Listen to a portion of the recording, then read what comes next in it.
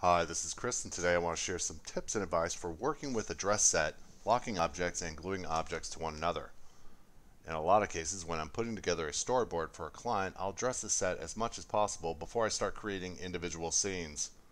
Since I'll be moving, manipulating, and posing the actors for individual shots and leaving the majority of the set and the set dressing alone, it's to my benefit if I lock down parts of the set so I don't accidentally move an object out of position.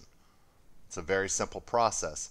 Select those objects that you don't want to accidentally move as you set up your shots. Go to the Objects menu and use the Lock Object function. Boom. Now you won't accidentally move an object as you start creating your individual shots. Let me talk to you about gluing objects together so that they act as if they are glued to one another. This works great for adding an accessory to an actor like a piece of clothing or something to be held in their hands. In this case, I want to give the character I created in an earlier tip video a hat. A hat that he will continue to wear as I move and pose him around the set taking shots. Again, this is a very simple process.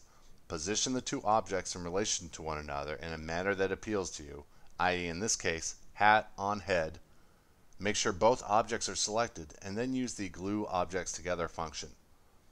You can access this function under the Objects menu or you can right click the two objects with your mouse. You'll see the Glue Objects Together function appear in the context menu. I hope this tip helped you and I will talk to you again in the next video.